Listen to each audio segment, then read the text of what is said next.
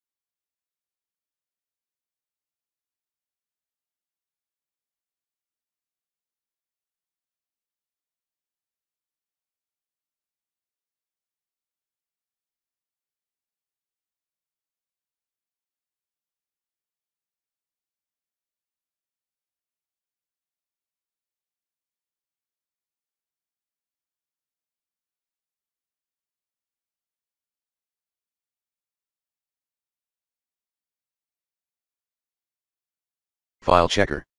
To do so, run these commands as admin, sfc slash scannow or sfc slash scannow slash offbootdir equals c backslash slash offwindir equals c backslash windows method 4, backup your Chrome profile at percent user profile percent backslash app data backslash local backslash google backslash chrome backslash user data, then reset Chrome.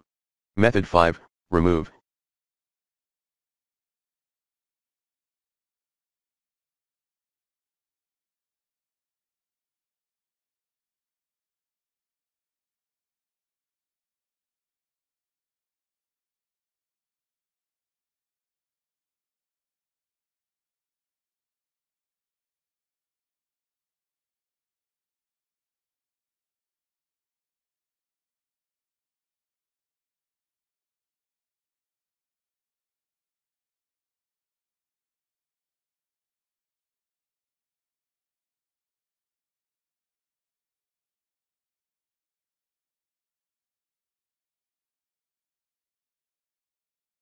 Using the recommended uninstall tool pro in this video guide, then reinstall Google Chrome.